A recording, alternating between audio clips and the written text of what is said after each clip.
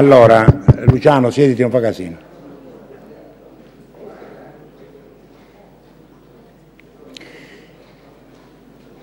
Cominciamo, anche se diciamo, oggi parecchie cose congiurano contro di noi.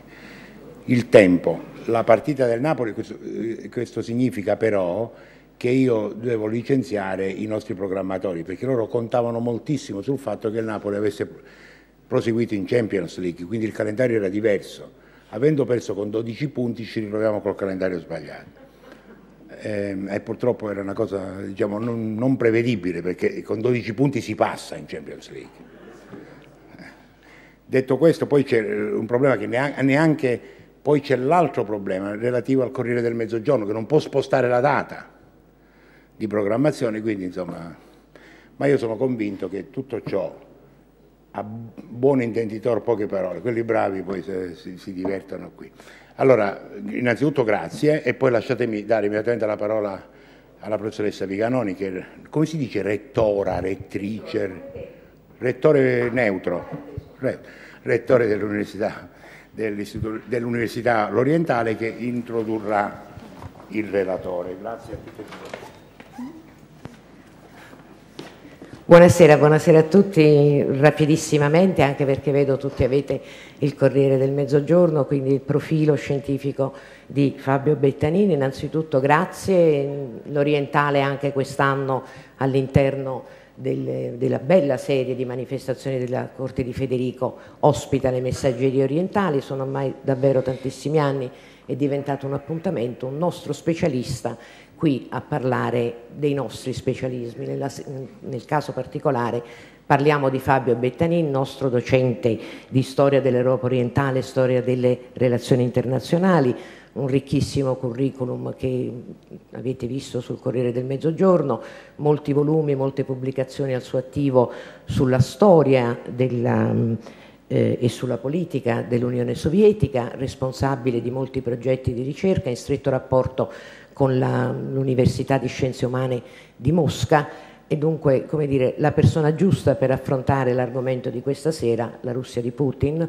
ehm, un argomento ovviamente di grandissimo interesse e attualità anche per le vicende più recenti che sono sotto i nostri occhi. Voglio dire a Fabio Bettanin che questa sala è piena, considerala piena, perché né io né Massimo Marrelli ci aspettavamo questa partecipazione. Questa mattina andando a mm. Roma Massimo mi ha detto lì da stasera facciamo un flop, che dobbiamo fare pazienza perché appunto la partita del Napoli in più si è aggiunto anche il maltempo, invece no. Quindi vuol dire che sia il relatore sia l'argomento che affronterà stasera per questo pubblico hanno avuto senz'altro la meglio sulla partita del Napoli. Comunque io vorrei dire, loro hanno sbagliato le date Secondo me voi avete fissato le messaggerie orientali, visto che veniva l'orientale, in questo giorno qui un po' penalizzato. Grazie.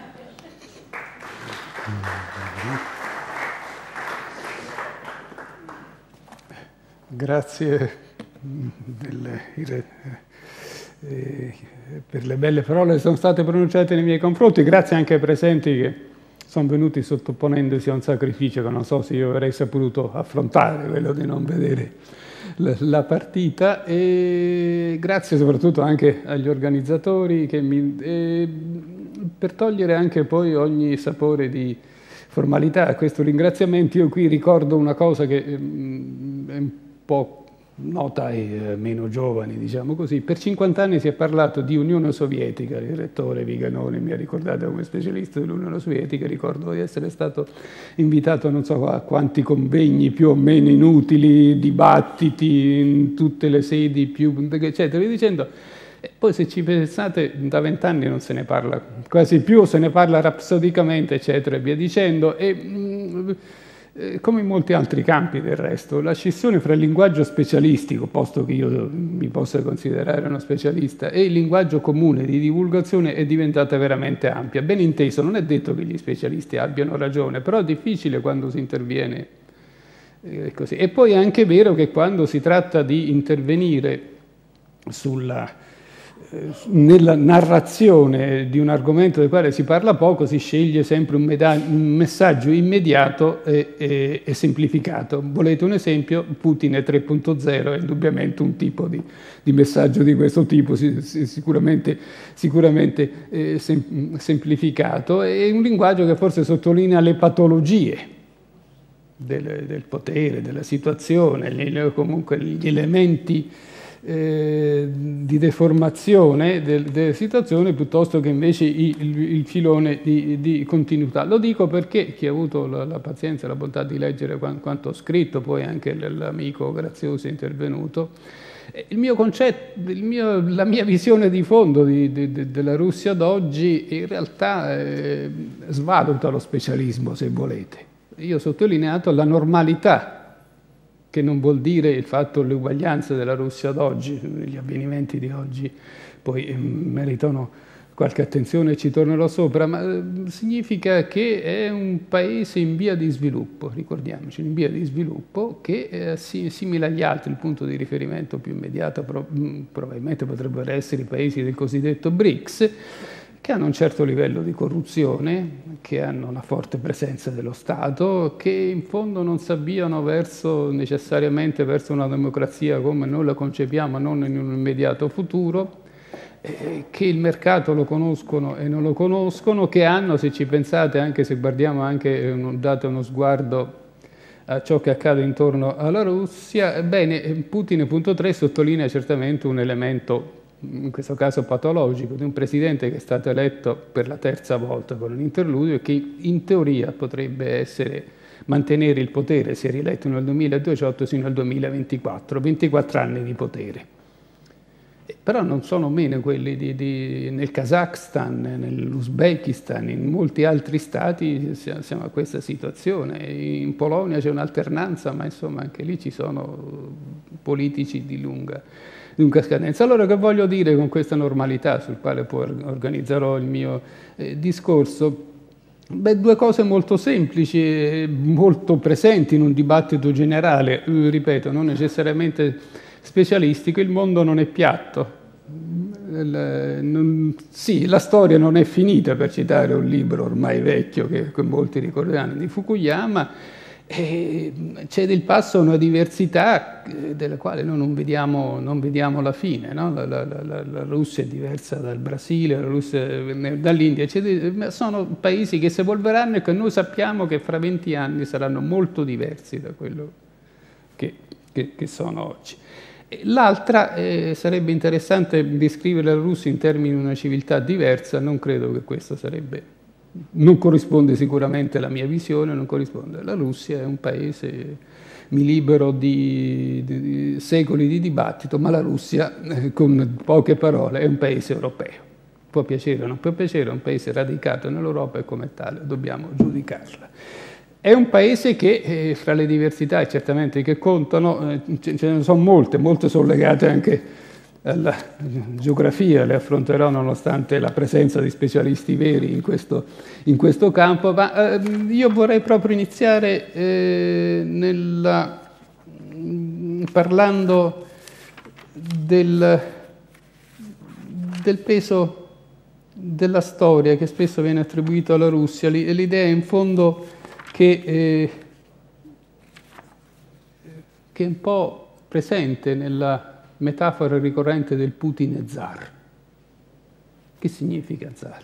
Non bisogna essere specialisti per dire, ma scusate, di quale zar state parlando? Mica è la stessa cosa di parlare se parliamo di Pietro I o se, o se parliamo di, di, Nicola II, c'è una, be una, bella differenza, però è, è funzionale un'idea di fondo per cui Mm, si trasmette l'immagine di un'elite, a dire la verità spesso e volentieri anche di un paese, condannati da una sorta di istinto primordiale, da un, da un impulso psicologico a espandersi, e sono i commenti che riguardano la, la, le vicende dell'Ucraina, e a creare uno Stato patrimoniale e autocratico. Se la Russia si muove sulla scacchiera internazionale è perché vuole creare un impero. Probabilmente è anche vero, ma non lo si può dare per, eh, per scontare. E in fondo tutto questo poi finisce per giustificare, almeno agli occhi dei russi, Putin quando dice, beh, non siamo peggiori di altri. Quando dice non siamo peggiori di altri. Io vorrei qui proprio partire da alcune considerazioni su, su, sulla storia, forse il PowerPoint, se riesco a mandarlo avanti, mi aiuta. Eh, questo è, è un... l'ho trovato, mi ha molto divertito, c'è un club amici di Putin in Italia. Quello è il logo, sia, che dichiara 15.000 iscritti, non so se, se, se, ce ne sono fra i presenti. E, e questa, questa, era una cartina che forse ho saltato perché non sono abituato particolarmente a lavorare con i PowerPoint, ma mi sembrava un po' l'indice sintetico della normalità, se si vede, se si vede bene. Eh, nei, nella classifica del reddito del, de, dei middle income country, eh, la Russia, che ha 16.000 euro medi di reddito per persona, rientra nella stessa categoria dell'Italia eh, lo dimentica, ed è più ricca de, della Polonia, per dire, via dicendo. Questo naturalmente può voler dire tutto e può anche non voler dire niente, però forse ci abitua a pensare che molti problemi nascono anche dal fatto che stiamo parlando di una società stratificata, non di una società, di una società semplice. E poi, eh, appunto, il passato, che non è mai più quello di un tempo, no? E, sono passati 25 anni dalla, dal 1989. Ci saranno convegni, stiamo, stiamo parlando già, da, mi immagino in tutto il mondo, stiamo parlando già di storia. Stiamo parlando già di storia. E se eh, ormai di interpretazione sul perché è finita, la, è crollato il muro, e poi è crollata l'Unione Sovietica due anni dopo, non dimentichiamo, era già un'altra storia, eh, in fondo poi girano attorno a un elemento che comprende un po' tutto, e cioè il fatto che eh, anche chi viveva all'interno era stanca del socialismo, era consapevole dell'inferiorità del socialismo, c'è anche un come in questo. Cito Hobsbawm, tutto è finito in un gemito, questo non è successo mai per nessun impero. Questo non è successo mai per nessun impero e, e, e il perché ha una spiegazione anche abbastanza um, logica. E, i, i, I sovietici erano i primi ad essere stanchi dell'impero c'era un malumore palpabile, espresso. Se dovevano esprimere un pensiero non ne possiamo più dell'Est Europa. Li manteniamo, sono più ricchi di noi, eccetera, e vi dicendo. Ancora oggi, eh, ancora oggi eh, questo è il parere che viene espresso per quegli avvenimenti e che grosso modo, se dobbiamo volgerlo in teoria, corrisponde a quello che dicevano che dicono molti studiosi, c'era una sovraesposizione dell'impero, troppe spese militari, troppe spese per mantenere Cuba, eccetera, via dicendo, paesi che, che poi ci, ci, trattavano male. Io una sindrome imperiale in questo, in questo veramente non, eh, non, la vedo, non, non, non la scorgo. Eh, non vedo ecco, questo peso della storia. È vero anche che in tutti i paesi post-socialisti c'è una cosa che è stata definita, avrei dovuto usare le virgolette, la politica della storia.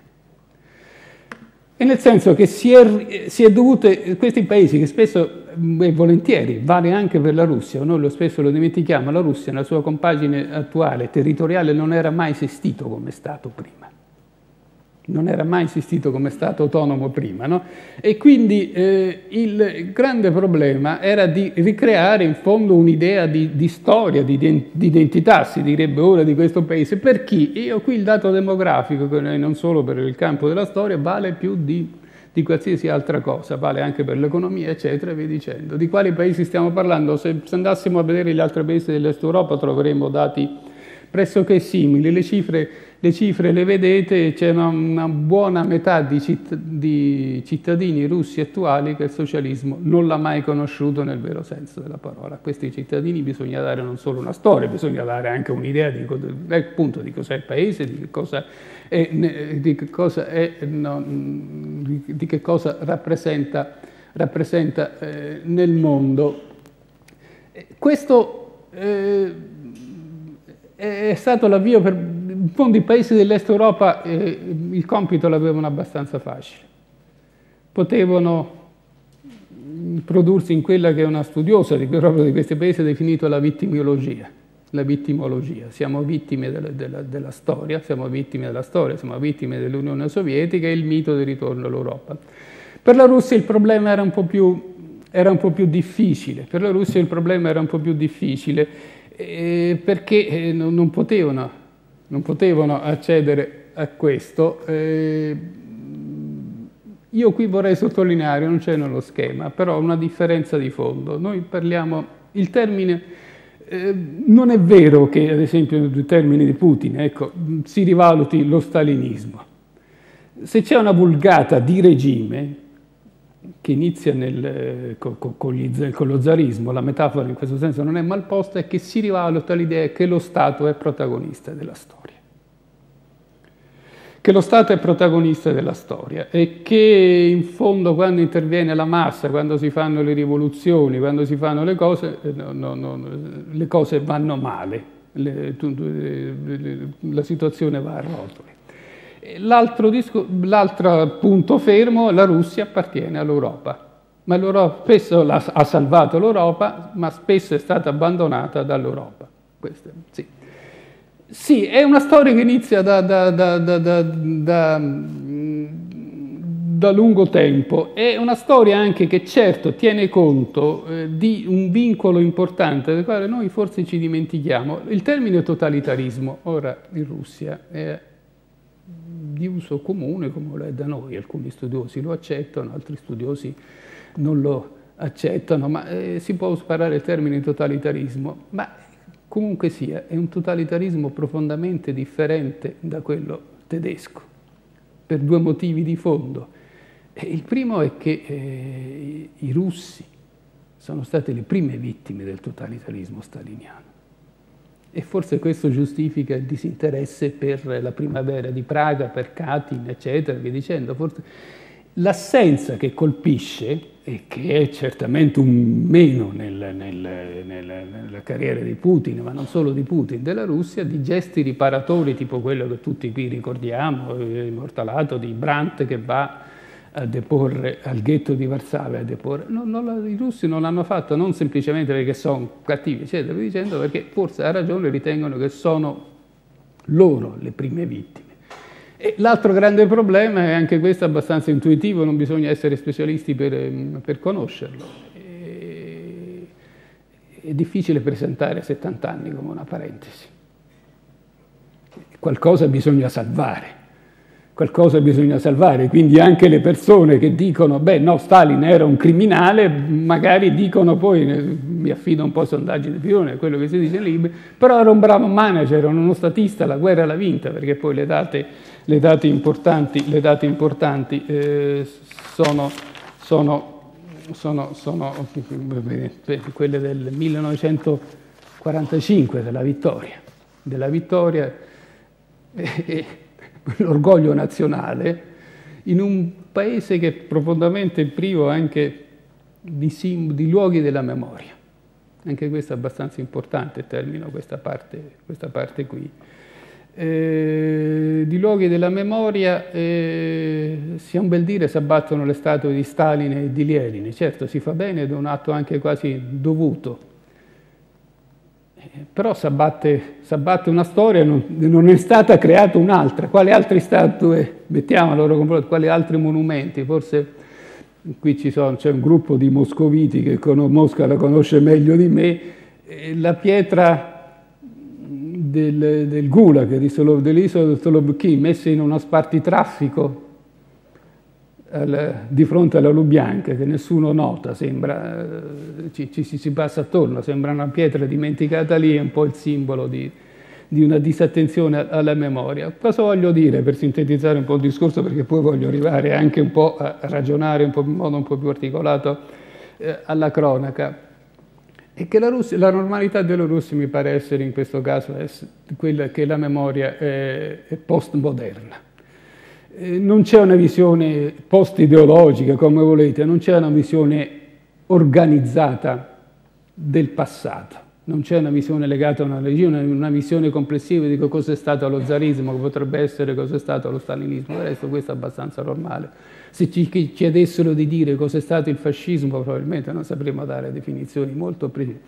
La memoria viene vissuta attraverso esperienze centrali, della vita non solo di quelle persone che mostravo prima, ma certo anche dei giovani, ma anche degli anziani. E, e ci sono, eh, è abbastanza chiaro, delle contrazioni del tempo, il compito degli storici è co eh, coglierlo. E per la Russia questa contrazione del tempo è stata più, più, più non sono stati 50 anni di socialismo post bellico, ma quello, i dieci anni di, che sono seguiti al, al, al crollo de, dell'Unione Sovietica. Alcuni indici perché devo andare veloce, eh, non, non vogliono essere analitici, ma semplicemente descrittivi. Richiamare l'attenzione, a sinistra c'è un grafico sul PIL, e dal, sino al 98 il PIL crolla del 55%. Nemmeno fra il 1913 e il 1920, la guerra civile, eh, c'era stato qualcosa del genere. Eh, la crisi del 1929 al confronto, al confronto è uno scherzo. Questo è il primo problema. Il PIL che poi viene recuperato solo nel 2007, il prodotto interno lordo del 1991. A destra c'è un altro tema che riguarda, appunto, del quale assolutamente non sono specialista e che traccia la normalità, lo ricordava anche Andrea Graziosi oggi, è la curva della popolazione. I russi erano 149 milioni nel 1991, sono 143 milioni oggi nel 2013 è stato il primo anno in cui il saldo del, fra nascite e morte è stato positivo. La rivista Lancet, se c'è qui, in un articolo che ha suscitato scalpore, nel, 1900, nel 2009 ha parlato di un genocidio, poi ha risposto l'Economist dicendo esagerate, ma che cosa dite, eccetera, e via dicendo, ma certo, questa è 6 milioni di popolazioni morte che sono legate a fenomeni anche di, di, sì, di patologia sociale, chiamiamolo così, eh, crollano le nascite, ma crollano soprattutto le morti. Crollano le nascite, è un argomento del quale anche in Russia ad oggi ci sono le statistiche, ma giustamente si parla poco. E, si impenano anche gli aborti. Negli anni 90 le statistiche, statistiche ufficiali, è che poi stiamo parlando, cioè, la grande differenza è che ora esistono, si lavora sulle statistiche ufficiali, di un numero, non vorrei fare un po' grandiano, ma tre aborti per donna, di media. Sì, una cosa, ora siamo scesi. C'è stato il recupero della popolazione legato, beh, insomma, io lo sottolineo non, perché è anche un'interpretazione, non si vogliono più figli.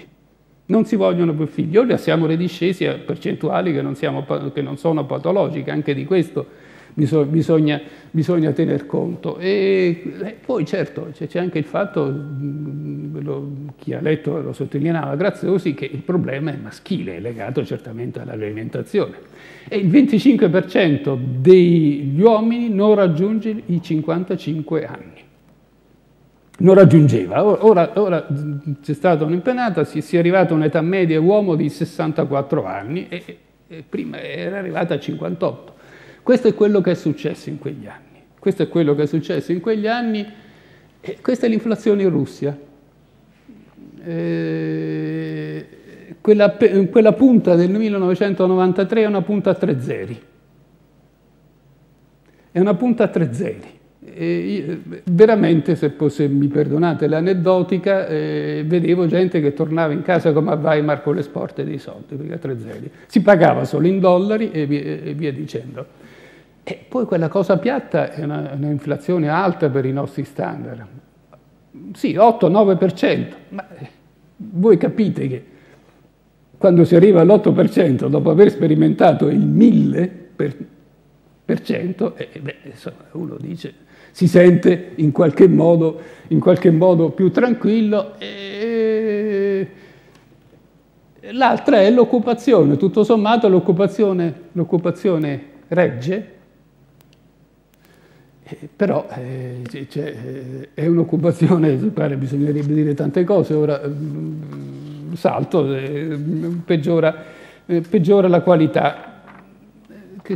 Anche qui cerco di arrivare alla fine di un discorso. Eh, qui possiamo anche saltare, non è colpa della privatizzazione, non è colpa della privatizzazione, certamente no, però è anche vero che la, la, shock, la, cosiddetta shock therapy presentava una ricetta per valida per tutti quando all'interno del campo socialista c'era una divisione del lavoro che concentrava in Russia i settori, eh, i settori della difesa, del complesso industriale militare, i settori dell'energia, eccetera, che dovunque non sono soggetti a una grandissima concorrenza e comunque hanno bisogno di forti impegni finanziari, eccetera, quindi di un sistema bancario. E quello che insomma, è stato fatto, eh, e poi, poi, c'erano tutti gli altri problemi, eh, tutto è stato fatto in assenza di leggi. Una delle espressioni più usate in quegli anni era vori bezzaconi e ladri nella legge, perché non c'era la legge. Il processo a Khodorkovsky è illegale semplicemente perché retrodata leggi che sono state da, da, regime autoritario, da regime autoritario sottolineo che erano state approvate in, in precedenza. E le privatizzazioni russi hanno dato un ventesimo di quello che hanno dato in Ungheria. Poi c'è stato anche l'inganno del, del voucher dati con tipo public company, che quando furono dati mentre c'era il 1000% di inflazione, 10.000 rubli equivalevano a tre mesi di stipendio, che non si è affrettato a venderli, ci ha comprato un paio di scarpe se gli è andata bene. Infine, molte regioni della Russia si erano resi di fatto indipendenti. Tornerò su questo evento perché anche questo è importante. Allora, per, per sintetizzare un discorso, eh, è quello che vedete sotto.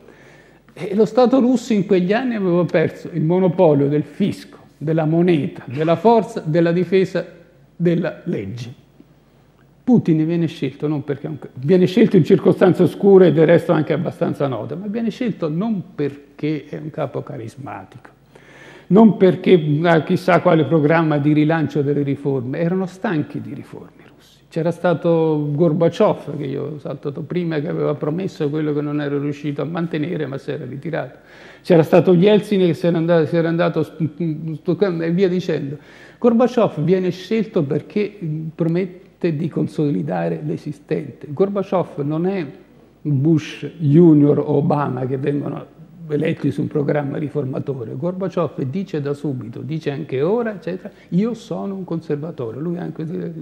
Questo, questo, questo, bisogna capirlo. Io sono qui per consolidare l'esistente, anche a livello internazionale, perché c'era una stata io qui un po' saltato su questo fatto, ma c'era stata una caduta verticale del prestigio del, del, del, de, dell'Unione, dell'Unione, eh, dell'Unione Sovietica, poi si dice rimpiangono il socialismo. Guardate, il periodo da sempre che più rimpiangono i russi del socialismo è il periodo di Brezhnev. Si stava un po' meglio senza, senza, gra, senza, grandi, senza grandi scossone. Se gli parlate di Khrushchev, eccetera, e via dicendo, molti non lo conoscono nemmeno, ma è associato all'idea di qualche riforma e la riforma, e la riforma eh, no, non va bene.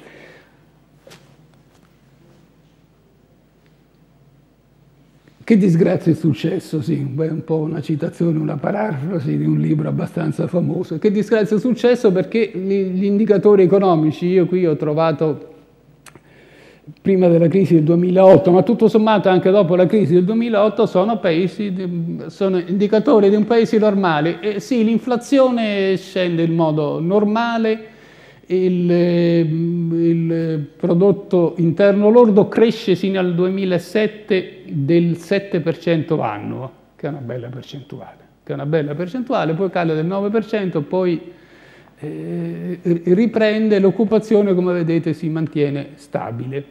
Che disgrazia è successo perché il periodo peggiore per ogni paese, io credo, qui generalizzo, non è quando si sta in mezzo al guado, che uno non sa mai che cosa sia il guado, no?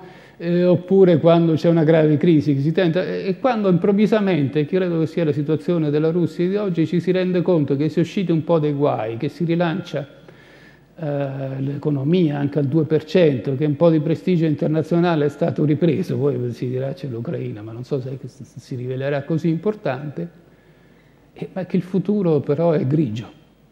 Cioè che con questo trend in fondo si continuerà a vivere per i prossimi, allora, per i prossimi 10-20 anni all'incirca livelli attuali, che per molti sono livelli, sono livelli di povertà. E, e direi anche che questo successo ha messo in luce se, quelle che oggi vengono, dire, vengono definite cleavages, eh, fratture, come volete, incrinature, no? non, non, delle vere e proprie crepe, ma degli elementi che sono non in un arco di tempo medio-lungo che se non rimossi determineranno il crollo di tutto. Io voglio parlare di questo un po' approfittando molto velocemente perché vorrei arrivare poi alla politica estera, ce lo chiama, ce lo, ce lo, ce lo dice la cronaca, che fra l'altro quella di quale mi occupo e mi sentivo in colpa e allora so, ho insistito su questo. Eh, qua, prima incrinatura. Eh, qui i geografi direbbero meglio, qui presenti, compreso il rettore, direbbero meglio di me, ma che la Russia è grande lo sanno tutti. E in genere, questo crea anche dei problemi da sempre, da sempre, da sempre storicamente. Eh, nessuno è riuscito a controllare mai completamente la Russia. Nessuno è riuscito a renderla omogenea, nemmeno Stalin, nemmeno Stalin. Quella, questa carta qui, che è abbastanza di difficile decifrazione, né io volevo analizzarla, è una carta del reddito. Ci dice che c'è un'estrema differenziazione di reddito, le regioni in verde sono quelle più ricche, che spesso può anche andare da 1 a 10. Ci sono repubbliche che vivono letteralmente di carità, di sussidi esterni, 76 su 73 entità della federazione. In pratica sono le grandi città più alcuni centri dove si produce, eccetera, dicendo, finanziari, che, che, che funzionano.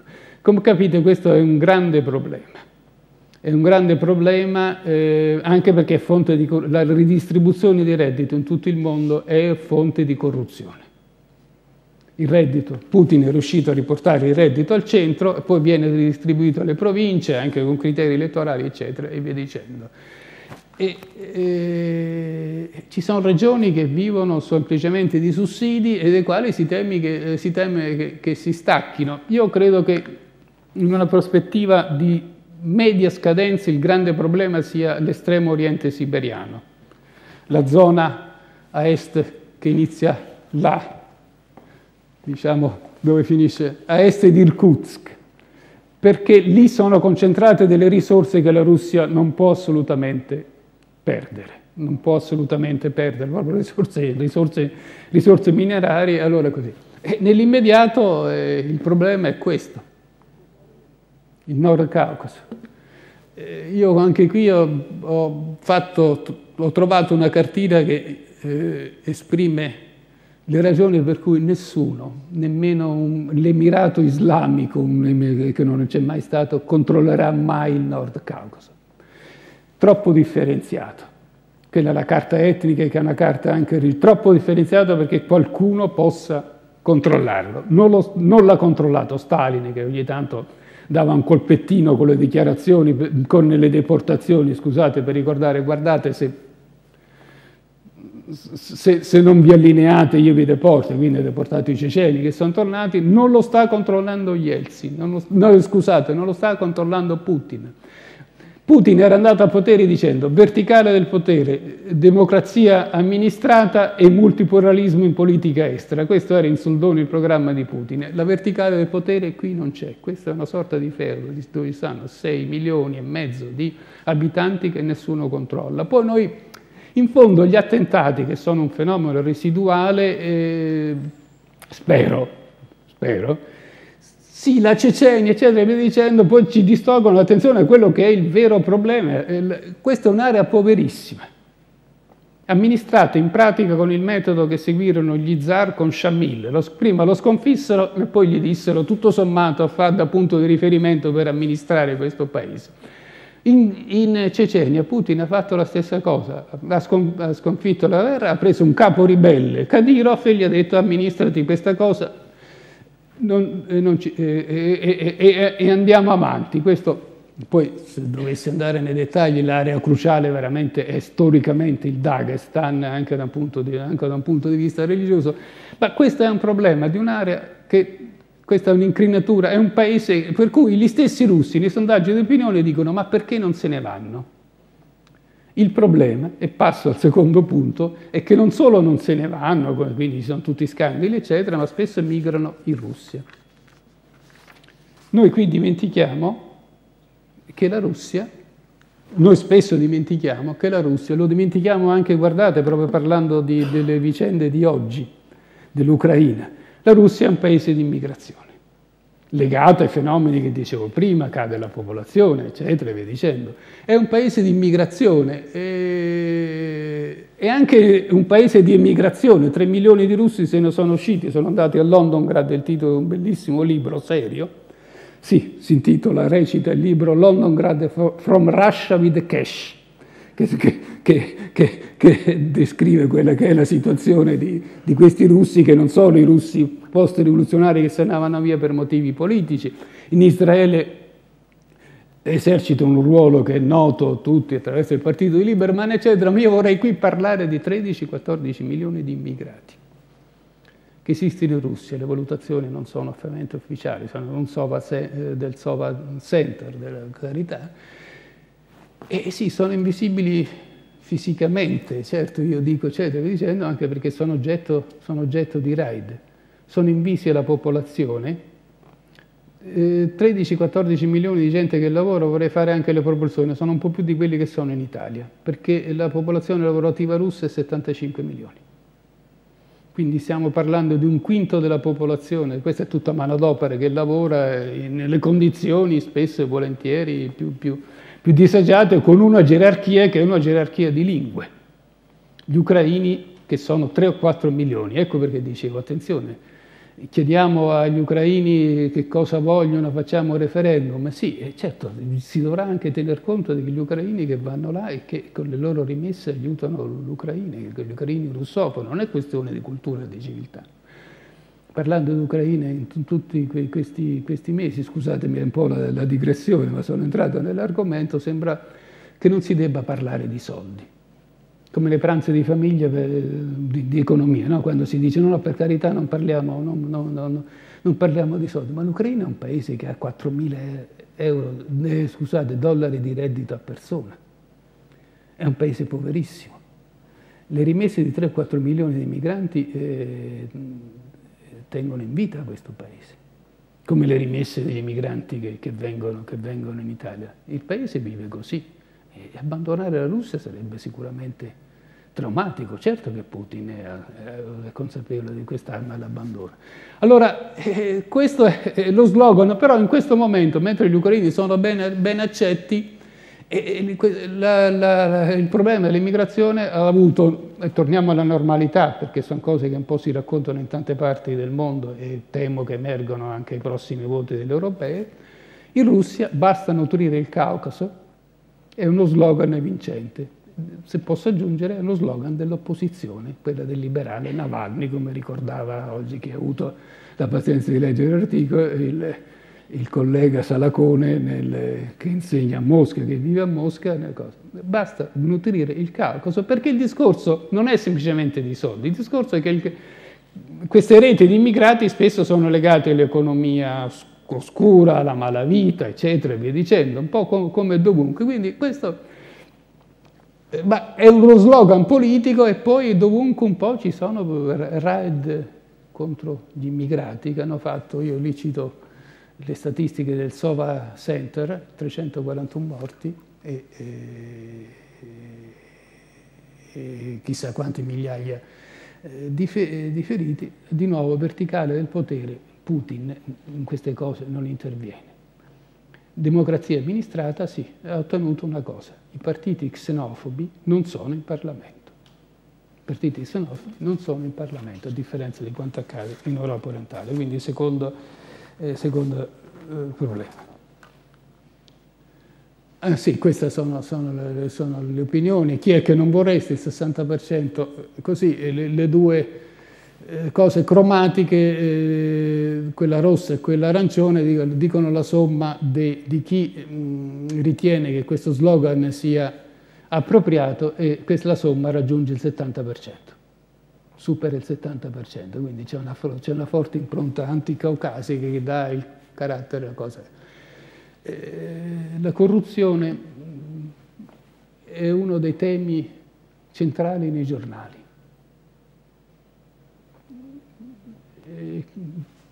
qui, ecco, voi state leggendo, ma eh, io mh, devo affrettarmi vorrei arrivare subito. Perché di un fenomeno del quale si parla tanto, come si parla tanto dell'arretratezza, che dovrebbe essere il prossimo tema economica, eh, non si riesce a superare. In fondo non c'è giorno che io non apra i giornali, non guardi i giornali russi e non veda denunce di fenomeni di corruzione, magari di pesci piccoli, eccetera, e via dicendo. Le spiegazioni, eh, sono, le spiegazioni sono tante, quelle che ci dicono eh, sondaggi di opinione, inchieste e via dicendo, è che eh, c'è un'opinione pubblica che condanna a parole la, la corruzione e in realtà poi tollera le pratiche legate alla corruzione. Paga bustarelle, paga paga i medici perché gli faccio una visita, pagano i professori perché li ammettono, là c'è il numero chiuso all'università, eccetera, e via dicendo. Questo è il grande, è il grande problema eh, della, eh, della, eh, della corruzione e eh, cioè l'assenza di opinione pubblica che si scagli contro la corruzione e anche che eh, ritenga innaturale che molti esponenti di potere occupino cariche eh, eh, economiche di primo rilievo. Faccio un esempio fra tutti perché era, è stato il programma di Medvedev quello di separare le due cose. Sono temi che eh, del quale si parla anche in Italia evidentemente, ma eh, Siecine, che era in fondo il numero due di Putin, il numero due del regime, era anche l'amministratore, è anche l'amministratore delegato di Rosneft. Qui il problema non è la corruzione. Se il numero due del regime, il vice primo ministro e anche amministratore delegato di Rosneft, c'è una commistione fra interessi privati e interessi pubblici che non lo rende e che fa sì che ormai gli interessi pubblici siano a, a rimorchio, eh, comunque si, si, si, siano, gli interessi pubblici siano strettamente, strettamente intrecciati e qui passo all'economia. Eh, la modernizzazione della Russia, scrivo la ricerca del nodo gordiano. La tabella di sinistra è la, tabella, eh, in fondo che riassume il punto di vista diciamo, dell'Occidente. La colonna verde, non so se si riescono a leggere le cifre, non, le, le, parole, io non riesco a leggere, misura la presenza dello Stato, il livello di concorrenza, eccetera, via dicendo, rispetto alla colonna ai paesi in via di sviluppo, ai paesi del BRICS che sono quelli della colonna verde. Allora, l'analisi qui è molto semplice ed è, eh, e, e trova eh, ehm, in fondo un nodo gordiano. Eliminiamo l'eccessiva presenza dello Stato, eliminiamo l'eccessiva regolamentazione della concorrenza e si, risolve, e si risolve tutto. In effetti lo Stato è eccessivamente presente nell'economia, soprattutto nell'economia energetica, perché poi non è che Putin abbia nazionalizzato tutto, ha mantenuto il 90% la, la striscia blu e la presenza, la, l'industria statale nel gas e, e, e, ha rialzato quella nel settore petrolifero e, e, controlla queste cime di comando e controlla l'economia ed è un po' questa la cronaca. Eh, però dov'è che è difficile superare questo problema secondo me? È che in realtà quella padella, quel cerchio là a sinistra, ci dice che eh, l'economia russa è già un'economia complessa. Non è vero che l'energia è così importante dal punto di vista della produzione, eh, i servizi eh, ammontano al 57%, eh, i, i problemi sono altri, la bassa produttività, un terzo di quella non sono le tasse, non sono le tasse, le tasse russe sono molto basse, nonostante tutto questo non si riesce, non si riesce ad andare, ad andare eh, a, a, rilanciare l'economia. La presenza di un'economia ombra che lo stesso Ministro delle Finanze una settimana fa, un'economia, sì, shadow economy, ha stimato al 20% di quella ufficiale e quindi non c'è, un sistema di tassazione. Un'ineguaglianza spaventosa. Il 10% più ricco della popolazione in Russia è, eh, mi pare 20 volte più ricco. Insomma, il coefficiente Gini, tutti sanno quindi di che cosa parli, è maggiore in Russia ormai che, in, che negli Stati Uniti. In queste condizioni è un po' difficile intervenire su un settore su un problema che tiri tutto e questo in fondo che voglio dire, l'analisi si potrebbe spingere, qui ho preso tutta una serie di appunti. C'è una fuga di capitali enormi, c'è anche questo problema qui legato a un mercato internazionale al quale, al quale la, la, la, la, Russia, Russia è, è, è, legata, ci sono pochi investimenti esteri, voglio dire, in un'economia complessa come questa, un'economia dove, in, industriale, dove fra l'altro l'industria eh, del del complesso industriale militare ha un suo peso che spesso dimentichiamo, spesso dimentichiamo, la Russia è il secondo esportatore di armamenti sofisticati nel, nel mondo, no? non, non, non, è un fatto secondario anche dal punto di vista politico, intervenire su un singolo settore che tiri tutto è, è, è molto difficile.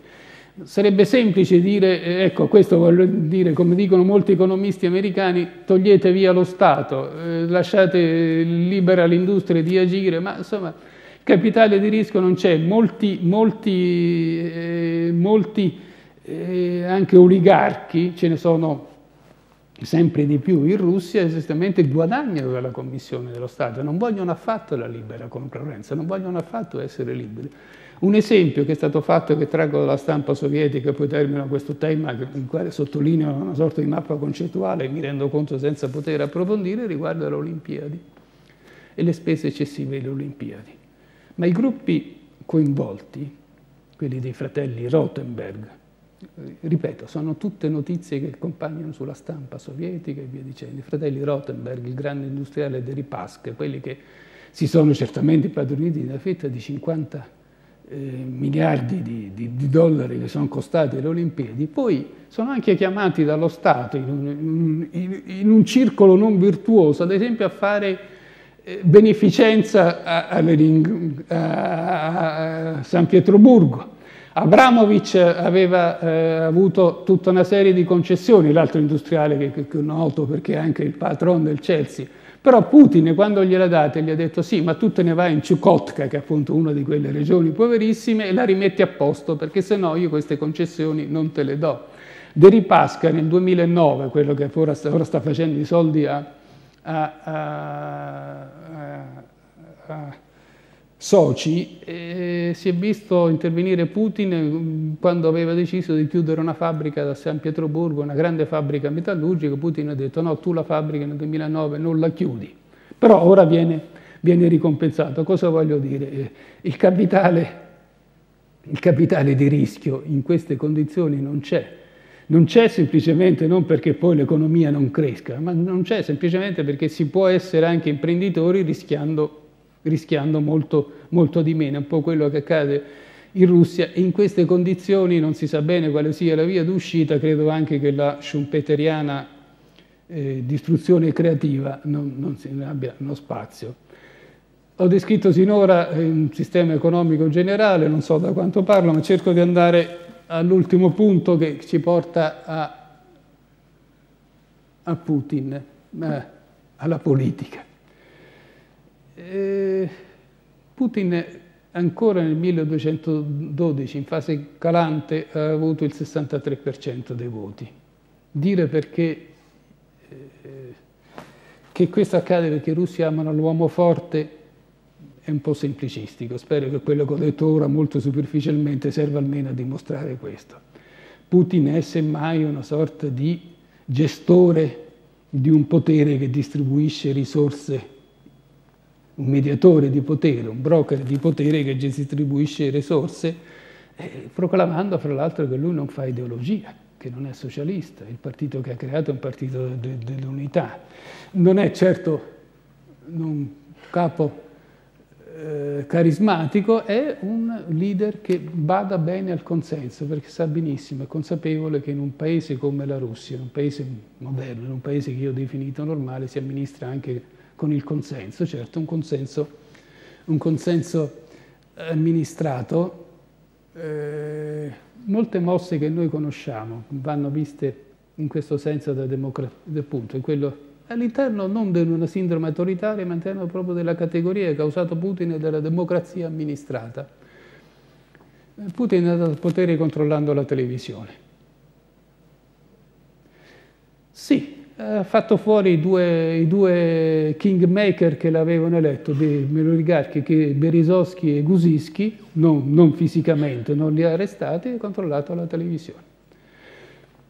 L'87% allora diceva di avere informazioni attraverso la televisione, questa è la Russia, oggi questa percentuale è scesa al 73%. Caso Khodorkovsky, non è stato un attacco all'industria privata, solo in parte, come abbiamo visto nella tabella precedente non è stato un attacco agli oligarchi, ce ne sono assai di più di quanto non ce ne fossero qualche anno fa. È stato un attacco a un oligarca che voleva fare politica. Leggi sui gay, salto un po', salto molti passaggi, salto molti passaggi. Non è una legge sui gay, per molti aspetti è una cosa molto peggio.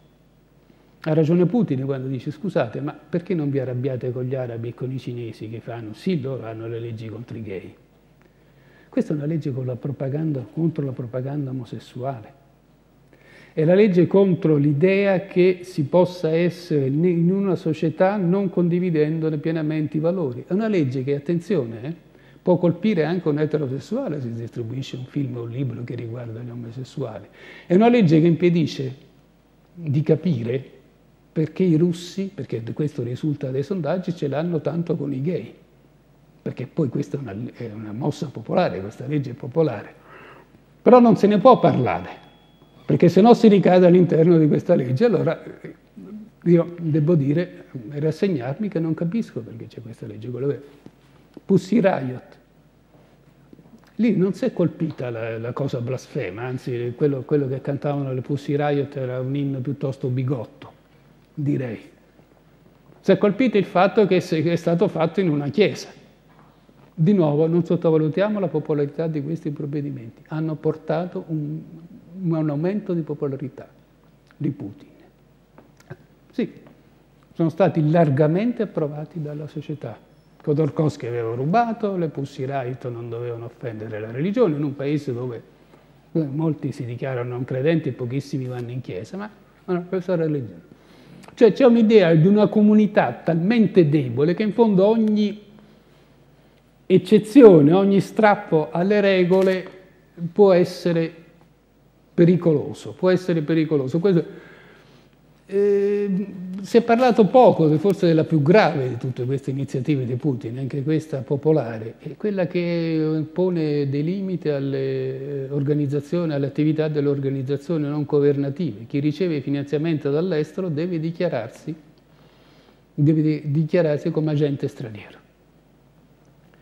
Le grandi compagnie, quelle che, le grandi eh, NGO tipo la Kernig, la Leva Center, eccetera, dicendo, se la caveranno ancora. E quelle piccole stanno destinate a scomparire e con esse la libertà che è certamente legata all'azione di queste organizzazioni non governative.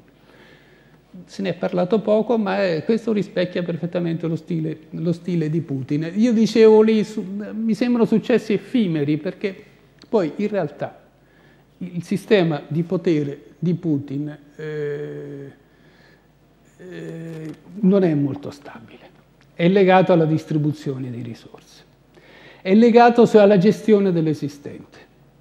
Questo è legato sostanzialmente alla gestione dell'esistente e la crisi del 2008 è stata proprio una grande crisi, non, non semplicemente economica, ma morale addirittura e via dicendo, perché ha detto che in realtà l'esistente può essere spazzato via in qualsiasi momento, anche in un paese solido. Da un punto di vista economico, la, la, la formazione dei fondi sovrani ha permesso a Putin di parare la crisi, ma il tutto il resto ha mostrato la fragilità di un'economia che non può non essere esposta al mondo, che non può non essere esposta alle, alle idee del mondo, di un'economia, di una società, che non può essere esposta all'economia del mondo e che quindi deve programmare, programmare un futuro Ora, a me, scusatemi la digressione, ma mi viene in mente il Partito Comunista Cinese, non sarà, non sarà comunista, no? non è questo, non voglio dare questo, però assolve questa funzione di dare una proiezione che va oltre l'orizzonte temporale di un presidente che gestisce il potere, che appunto dichiara l'ideologia. Non sto facendo un elogio dell'ideologia, di una visione del mondo, però credo che in un certo qual modo eh, ci si debba chiedere, forse ce lo dobbiamo chiedere tutti quanti, quale sarà il mondo fra 20 anni anche per attrezzarsi a, a, a vedere che cosa si deve fare. Ecco, ora il sistema di Putin è in crisi proprio perché questo elemento non c'è. Questo elemento, questo elemento non c'è. Quello che colpisce, perché questo poi è anche abbastanza normale, forse è una sindrome normale, quando si gestisce un potere a lungo con buona pace di, di, di celebri battute, potere, la gestione del potere logora, logora chi lo ha anche. E quello che a me veramente colpisce, eh, che è poi l'oggetto anche di un articolo che è comparso oggi di, di, su, su Navalny, è l'assenza di un'opposizione vera. Perché questo è il grande problema, e questo è il grande problema che, che, ci porta a dire, ma insomma allora questi russi, questo io lo dico da un punto di vista dello specialista, ma questi russi eh, sono davvero autoritari, non la vogliono questa opposizione? aggiungo anche, eh, purtroppo mi devo porre anche un interrogativo, ma perché questi americani, perché sono soprattutto questi americani, questi occidentali, si ostinano ad inventare un'opposizione che non c'è o che è molto discutibile? E condivido proprio riga per riga quello che ho scritto oggi Salacone, ma quello che in genere si trova nella stampa. Il beniamino dell'Occidente, il laureato dell'Università Lumumba a Mosca e anche però di, di, Yale, che parla benissimo, Navalny, da noi passerebbe per uno xenofobo. È uno di quello, basta nutrire il Caucaso, è bravissimo a organizzare le manifestazioni, è bravissimo a parlare, fa un po' spavento quando parla perché parla sempre quelli noi, loro e queste persone che ragionano chi.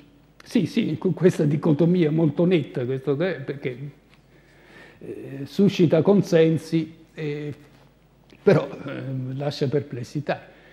E non parla, e poi è importante anche di che cosa, i, i, i caucasici li chiama ciornie, i neri. Figuratevi se un uomo politico occidentale si permettesse di usare questa terminologia nei confronti di, di una qualsiasi persona. Colpisce soprattutto ciò di cui non parla, l'economia. non c'è un'idea di riforma economica nel programma di Navalny, anche nel programma così, la politica internazionale. Sono temi scottanti, sono temi ai quali non si può tagliare la, la, la, la verità a fette, eccetera, e via dicendo. Navalny non è prova. Vorrei qui sottolineare però brevemente, perché credo che sia il futuro, la grande novità di Navalny. Usa la blogosfera noi pensiamo alla Russia come un paese arretrato, guardate, il 60% dei russi usano internet, il 40, 60% dei russi usano internet, il 15% quotidianamente. E la spaccatura è come da noi generazionale i, giovani hanno, ricevono informazioni quasi solo attraverso internet, attraverso siti che sono visitatissimi da molti, da molti milioni di persone, anche da chi si deve documentare. Qui ci sono i miei giovani che le conosceranno, Live Journal, eh, eh, la rete dei contatti, Slon Ru, eccetera, e via dicendo. Io poi sono un uomo del XX secolo entro in questi siti e, e, sì, e mi trovo malissimo perché sono siti confusi, non si riesce a capire, stimolano la partecipazione piuttosto che la discussione organizzata, gerarchica, come un libro, eccetera, dicendo, ma sono siti che fanno una fortuna, che, che, che hanno un seguito. Che, e quindi direi che si sta creando più che una spaccatura ideologica, una spaccatura che è di strumenti di informazione gli strumenti di informazione e anche una spaccatura generazionale, più, più che una spaccatura sociale. E anche, aggiungo anche una spaccatura geografica. La periferia povera non vota per, per Navalny. Non vuole l'Occidente, non perché non sia contrario all'Occidente, appunto, usa, usa questo l'Occidente e via dicendo per molti motivi, eh, lo, lo, ha come punto di riferimento. Ha problemi esistenziali gravissimi ogni giorno, la droga, la criminalità, eccetera, e via dicendo. e, e, e quindi magari nomina sceri, eh, sindaci sceriffi come è successo a Ekaterinburg di recente, la quarta città del paese, una città grande forse anche più di Napoli, eh, è stato eletto un sindaco che va in, per strada a picchiare la gente, i criminali, eccetera, e via dicendo. E allora vengo all'ultimo punto del quale volevo parlare, che mi porta un po' anche a approfondire l'Ucraina, ma forse ci sarà modo anche di farlo, non so nemmeno, non ho preso il tempo da da quanto parla, forse anche troppo. La Russia non è in fuga dall'Occidente, la Russia non ha mai rigettato l'Occidente, né la Russia né Putin, ma io qui vorrei porre l'attenzione ehm, sulla, sulla, Russia. È legata da fili, da fili che ormai non sono più politici. Io ho, cito quella parola, si diceva sì, eh, McDonald ha conquistato la Russia. No, eh, Vanity Fair ha conquistato la Russia. Vanity Fair, l'idea del glamour, l'idea del consumo, l'idea del, del, del, del, vivere elegante, del consumare anche quando poi non ci sono i soldi, eccetera, e via dicendo. In quel senso, e non credo che sia una osservazione superficiale, l'Occidente è un modello, è il legame che è un punto di riferimento, come lo è stato nel corso della sua storia. Da quel punto di vista, eh, eh, guardate, perdonate l'ultima osservazione personale, per, eh, eh, poi con il collega Viulzer che era anche presente, in, andavamo in metropolitana di, di, Mosca e forse ci riconoscevano come italiani perché eravamo gli unici a leggere i giornali tutti gli altri avevano, avevano gli Apple, le, le cose, e via dicendo, i tablet e via. Intendo questo, il vestire elegante, eccetera, e via dicendo.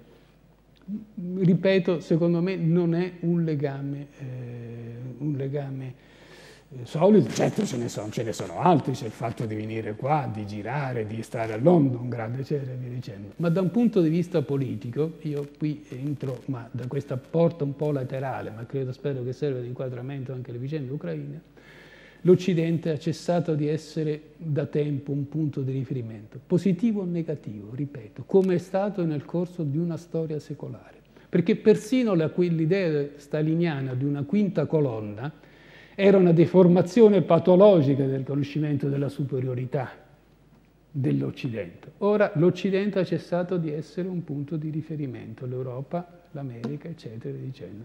Il perché? Ma insomma il perché? Perché è un paese normale. I commentatori dicono quello che dicono molti commentatori anche da noi, l'Iraq. Eh, il processo di, di, di Lisbona Cachetti, l'IBM dato e via dicendo, tutte queste cose in realtà sono sintomi di una politica un po' azzardata, sono interpretati in Russia, ma non solo in Russia, lo sono anche da noi, senza, politica senza prospettiva, non, non, non, approfondita. E siccome parlavamo d'Ucraina, io salto tanti anche riferimenti legati al passato e dico anche che eh, da qualche, in Russia si parla e parlano anche persone guardate, cito forse in quell'articolo, eh, eh, voglio fare riferimento al lungo saggio importante che ha pubblicato il direttore della Fondazione Carnegie, come capite non è esattamente un anti-occidentale finanziato dagli Stati Uniti, Trenine, è uno dei, degli studiosi di politica internazionale più noti al mondo, non in Russia, è un articolo che già prima che succedesse questo in Ucraina diceva, ma si chiedeva, eh, ma insomma, voi cosa volete fare con questa Easter Partnership? Chi è intanto che la promuove? La Polonia, la Svezia, qualche uomo politico? Oppure altre? Perché offrite di entrare in un association agreement, scusate il termine, a paesi che sono in guerra fra di loro, l'Armenia e l'Azerbaigian, a paesi che non hanno risolto, non hanno ancora una struttura territoriale definitiva, la Georgia, la Moldova, l'Armenia e l'Azerbaigian, a paesi che sono in grave crisi economica, l'Ucraina. Perché offrite tutto questo? Senza dare un soldo, senza dare nulla in cambio. Eh, io non so cosa vogliono questi manifestanti che stanno per l'Europa, però mi, eh, mi, si è permesso di dire che l'Europa poteva dare intanto un po' di soldi, si è trattata da allora, e poi che le cose si andavano preparate un po' meglio le cose andavano preparate un po' meglio, le cose vanno fatte dai politici. Finisco per lasciare spazio al dibattito davvero, prometto, in cinque minuti. Se si voleva rilanciare l'opposizione, non si doveva far fare tutto a, qualche burocrate che offriva le regole, diceva queste sono le regole, eccetera, e via dicendo. Si doveva andare a Yanukovych e convincerlo, eh, con dei soldi però, a farsi da parte si doveva offrire a un'opposizione che non è quella estremista, sicuramente estremista che ora sta in piazza, ciò che gli ucraini vogliono di più, perché è una fonte di reddito e anche una fonte di speranza per i giovani, l'allentamento del regime di Schengen. Noi non, forse non ci rendiamo conto, forse è anche facile rendersi conto in realtà di quanto in fondo questa storia di, di Schengen sia vissuta da, dai giovani soprattutto come una forma di discriminazione che rende inutili tutte le prediche dell'Occidente sui diritti umani, che rende inutili tutte le critiche dell'Occidente sui diritti umani. E questo si poteva offrire all'Ucraina, un allentamento del regime dei visti. E poi per il resto, eh, appunto, dicevo, non si parla di soldi, ma l'Ucraina non è Yanukovych, non è Putin. Putin comanda sugli oligarchi, semplificando un po'. Yanukovych eh, ne è lo strumento, semplificando assai poco. E allora eh, lo scriveva Gartonash molto bene qualche giorno fa sulla Repubblica, visto che i vari Firtash, Alekpierov, Pinchuk vivono a Londra, ma perché Cameron o l'Ashton non si prendono un biglietto di...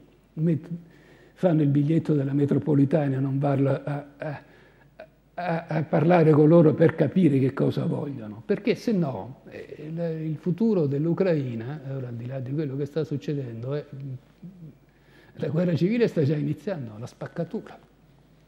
Aggiungiamo che la Crimea se ne voleva andare da tempo, se ne voleva andare da tempo e che è stato Yeltsin il primo a dire la verità e poi Putin a dire no, voi rimanete lì. Io non credo affatto che gli oligarchi ucraini vogliono, vogliono entrare nell'ala protettrice della Russia.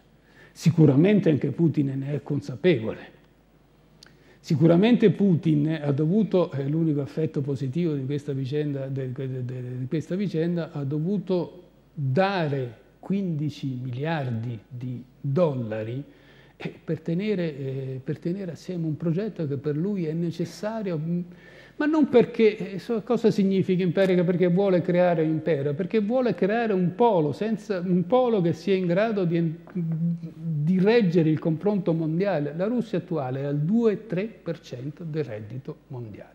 Sarà anche una superpotenza perché le armi nucleari, ma il 2-3%. L'impero zarista, il, da, dal, il colosso dal, dai piedi d'argilla, aveva il 9%.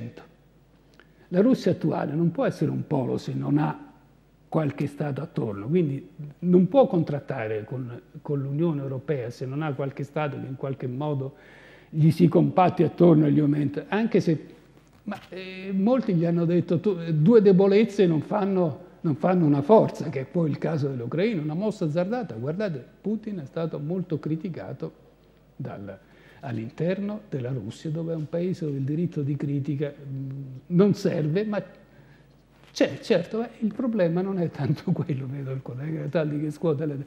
È come da noi, tante cose si dicono, poi non, si, perdono, si, perdono, per strada. Dobbiamo, dobbiamo, dobbiamo pensare anche a questo. No? Non è, non è, eh, ma queste cose sono state, sono, sono state dette, i mugugni anche popolari, sono stati fatti sondaggi d'opinione. Eh, la ragione era anche questa, l'ha data uno come Yanukovych, data a uno come Yanukovych, ma l'Ucraina aveva il doppio del reddito della Bielorussia nel, nel, 91, nel 1991, ora è molto più basso. Che non è che in Russia non le sappiano queste cose, è che forse bisognava andare appunto, se l'Europa voleva entrare c'era un po' di soldi doveva metterli, un po' di maggiore, poi noi parliamo sempre di libertà di, di concorrenza. Ma una delle cose che hanno chiesto gli ucraini è la concorrenza dei prodotti agricoli. Credo che anche molte fabbriche qui attorno a Napoli acquistino grano duro ucraino. Concorrenza dei prodotti. Questo l'Unione Europea non gliel'ha concesso. Questo l'Unione Europea non gliel'ha concesso. Ora questa non vuole essere una spiegazione di cosa, ma mi pare che eh, quando poi si, si, si, si, finisca in piazza eh, in un paese che da 20 anni esprime un voto polarizzato geograficamente, richiamo l'attenzione sul partito non ideologico che sostiene Yanukovych, partito delle regioni. Fa un po' spavento. È un partito di, come la Lega da noi, è molto più segreto, fa un po' spavento un partito che programmaticamente pensa di avere una base territoriale e rappresentare quegli interessi territoriali e non, non l'intera nazione. Certo che fa spavento, Yanukovych è un prodotto di questo, però io credo che l'Unione Europea abbia delle responsabilità abbastanza gravi nell'aver lasciato incancrenire la situazione. Per il resto eh, si dice Putin è un impero, eh, l'ultima frase che pronuncio, Putin è un obsiano, molto pessimista, eh, che vede sempre il peggio in ogni situazione, ma che è anche convinto non perché ha letto Hobbes, ma perché mentalmente vive nel XIX secolo, che un accordo nell'idea del concerto di potenze bisogna trovarlo. Qualche volta la realpolitik paga, come è successo per la Siria. Dovrebbe spaventarci, dovrebbe spaventarci perché la realpolitik che pratica Putin in fondo presuppone che eh, c'è un equilibrio fra le grandi potenze, il che non è vero ed è un elemento irrealistico e due che il mondo non sta cambiando, il che non è vero, il mondo sta cambiando, magari anche in peggio se sono le rivoluzioni islamiche, ma non è certo che con Assad che si ferma questo processo. Quindi l'uomo dell'anno, come hanno proclamato, mi pare, Time, eh, dovrebbe farci paura e io credo, e termino questo mio intervento scusandomi per la sua lunghezza con un augurio, che questo tentativo di trapiantare il XIX secolo nel ventunesimo, del quale in fondo l'Ucraina è un episodio, sia destinato al fallimento. Ripeto, è un augurio che io formulo e, e spero che, di, essere, di avere ragione. Scusate se ho parlato troppo.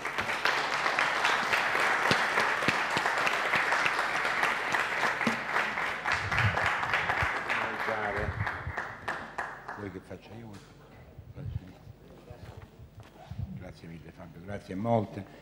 Allora, è tradizione fare un po' di, do, di domande, se sono di, di, di interventi. L'argomento è interessantissimo, anche perché noi abbiamo diciamo, visioni un po' distorte, o almeno non so se trasmesse ad arte oppure perché noi non siamo sufficientemente ehm, attenti a queste cose. Una delle cose che viene in mente, non so a che grado di superficialità io stavo ragionando, dice ma guardate che poi tutto sommato queste cose che noi vediamo in Russia non sono mica tanto diverse, tanto diverse da quello che succede in questo paese e credo che sia un po' la tesi della normalità. Non so, anche il, io pensavo quando davo i dati, questi dati lì, se pensate ai dati pro capite, sono i dati pro capite campani, pari pari pari non soltanto sono i dati pro, il PIL pro capite campano, il tasso di corruzione in Campania, l'avete visto? Sono, secondo me dovremmo fare una federazione campano-russa, forse. allora, detto ciò, ci sono domande o interventi. Eh, fatemi cominciare per rompere il ghiaccio. Secondo te quante affinità ci sono fra quello che sta succedendo? Capito?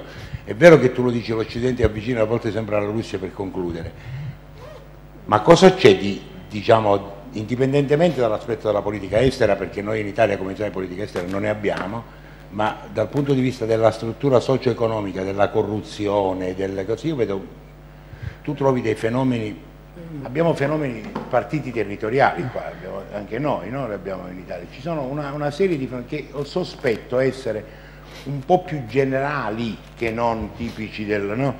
uh, di un particolare mondo. Beh, la corruzione è l'elemento secondo me più, che più avvicina, e non secondo me, anche in studi di colleghi autorevoli che proprio studiano queste cose, ovviamente lo studiano in una prospettiva comparativa con il Quang Chi, se, se pronuncio male, cinese, ma anche con la mafia e la camorra nostrana, anche negli aspetti diciamo, di questa corruzione patologica. Io credo che lì eh, però ci sia una maggiore commissione fra potere politico e potere economico, quasi una simbiosi che mi pare di capire che da noi non c'è. Eh, questo, questo, è un elemento di, di, di diversità strutturale. Eh, se guarda un po' indietro, ora un po' meno, certo cioè, non, non, non, dobbiamo dimenticare, io l'ho dimenticato saltando tante cose perché poi eh, troppo avevo scritto probabilmente la violenza che percorre, ha percorso la società russa e che Putin è riuscito ad arginare. La Russia è arrivata ad un tasso di 33.000 omicidi all'anno. Noi ne abbiamo 800. Molti di questi omicidi, non faccio del colore, c'è una letteratura autorevole in merito, erano, sono legati alle privatizzazioni. Cioè si ammazzava. C'è, una, sì, si ammazzava, si ammazzava, poi c'erano tutte le leggende metropolitane che sorgono, che uccidevano i vecchi per prendere gli appartamenti, eccetera, dicendo. È un paese che dieci anni ha vissuto in questa sindrome. E quindi c'è in questo senso, diciamo, in questo, è una società che ancora ha un, maggior tasso di, di violenza. Sai che colpisce? Non so se posso dirla questa cosa, probabilmente non dovrei dirla, non so se, se sono legato al, al non c'è nessun procuratore qua, no? Allora, nostro, i nostri informatici stanno collaborando con la Procura e la Polizia Postale per tutta una serie di reati che potete immaginare. A fronte alle cose che diceva Fabio, sapete dove sono la maggior concentrazione di siti pedipornografici? In Russia. Sono tutti là. Almeno questo è quello che mi riferiscono loro che sembra una contraddizione di fatto con quello che dicono le, le Pussy Riot che vanno a fare un po' di casino in chiesa, capito che voglio dire? Com'è possibile che venga tollerata una cosa di questo genere? Perché è chiaro che un governo sa benissimo, cioè tu basta che vai su internet, io, io su siti pedopornografici non ci vado, ma se leggi .ru sai che stanno in Russia. Capito? È come se fosse una cosa che non riesco a capire, nella, nella, eh, che è strettamente connesso con la criminalità, banalmente, no?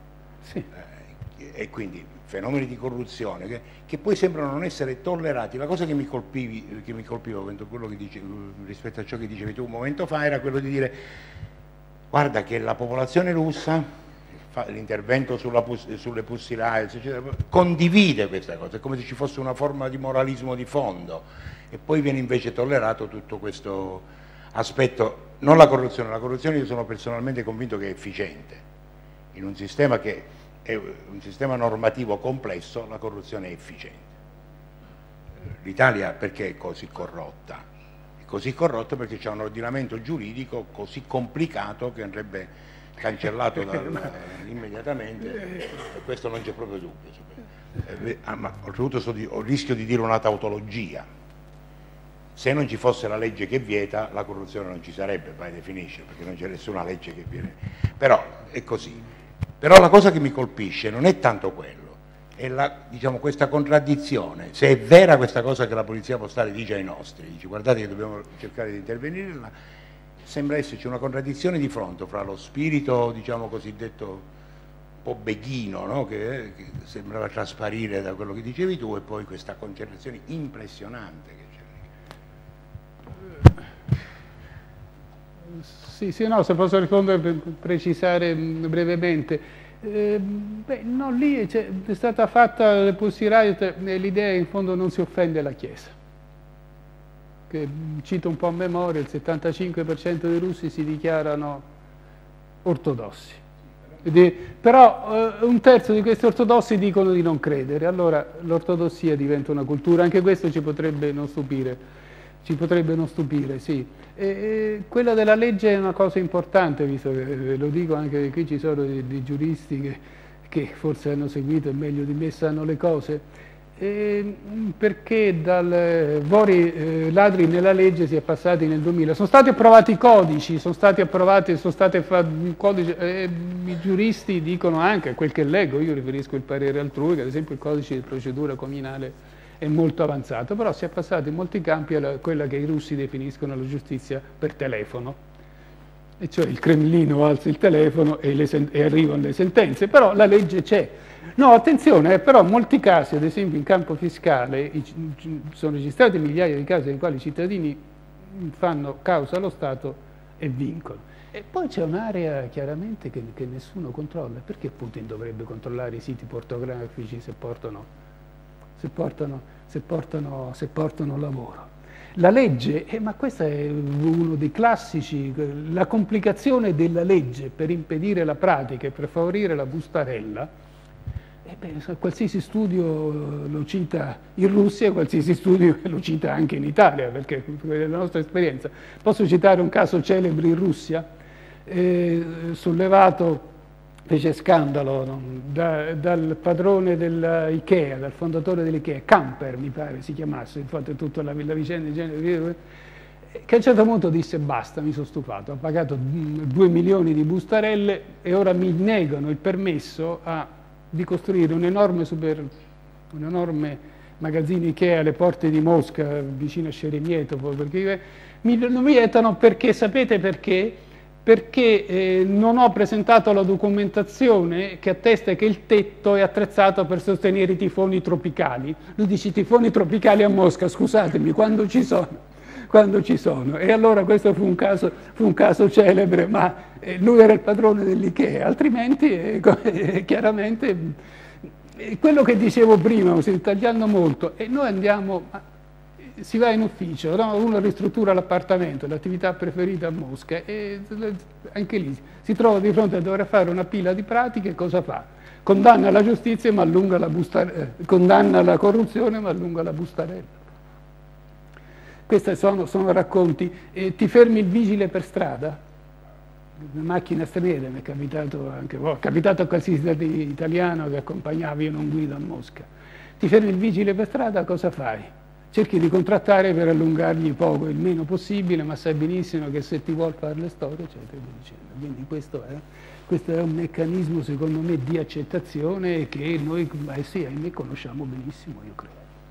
Conosciamo benissimo. Allora, ci sono domande, interventi, vi è tutto chiaro? Un chiarimento, sono breve, sulla politica estera. L'Unione Sovietica contava, dopo l'89 si è mm, ripensato se contava realmente, se era un subimperialismo, eccetera. Oggi la, la Russia di Putin rimane una grossa potenza militare e in politica estera il peso qual è? Nonostante sia basso in termini economici, come tu ci hai fatto notare. Beh, ricomincio a parlare, perché poi dovrebbe essere il mio campo. Guarda, io non lo so quanto conta, preferisco pensarla come uno specchio del mondo. La Russia con l'ingresso nel WTO, nell'Organizzazione Mondiale del Commercio, è in tutte le maggiori organizzazioni mondiali.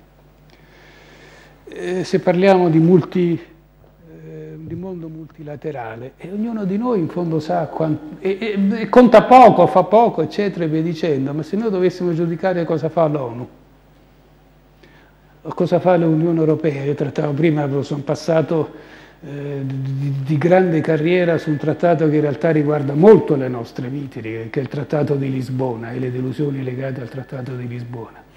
E allora la Russia conta, conta poco. E, certo, è una, se, se, questo è il problema grande della Russia, ma secondo me è un problema del mondo. Ci sono tutta una serie di organizzazioni che lavorano a basso regime, che nessuno vuole muovere perché una riforma potrebbe ridefinire delle gerarchie, eccetera. Certamente questo la Russia non lo vuole. E aspettando Godot, e aspettando tutti un po' la Cina, devo pensare, ma insomma qui si, si va nella futurologia. Per il resto eh, eh, la Russia non, non, è più, come diceva Brzezinski, il Burkina Faso con le armi nucleari, ma è una potenza globale. No, eh, alla fine degli anni 90, che lo descrivevo io, era un paese senza Stato con le armi nucleari, questo faceva molto più spavento, questo faceva molto più spavento, eh, non voglio fare l'apocalissi a posteriori, ma ci è andata bene. Eh, la Russia è una potenza globale solo per eh, quanto conta poco, lo dice il reset di Obama, che si è concluso in poche, in poche battute. In fondo, nella firma di un nuovo trattato nucleare che penalizza la Russia, ma cosa importa? E la Russia conta perché è una potenza regionale che noi ci dimentichiamo garantisce la sicurezza, bene o male, bene o male, noi diciamo impero, ma insomma se non ci fosse, se la Shanghai Cooperation Organization, queste sigle strane che il CSTO che raduna tutta una serie di stati dell'Asia centrale, e guardate che si fa prima arrivare da quegli stati in Italia che dal, dal centro dell'Africa, c'è anche, anche, questo problema qui, guardate che Putin queste cose le dice. Noi vi stiamo salvando da un'immigrazione selvaggia, però certo è una potenza regionale, in fondo eh, tutta questa storia dell'Ucraina, che la Russia ha gestito male e l'Europa eh, secondo me ha gestito peggio, è legata anche al fatto che Putin non vuole affatto eliminare l'Europa, gli fa comodo che sta in Ucraina l'Europa. Vuole semplicemente creare una struttura di sicurezza e anche di collaborazione economica che riconosca alla Russia un ruolo che, fra mille difficoltà, ha gestito come potenza regionale in un, in un settore dove noi non ci siamo.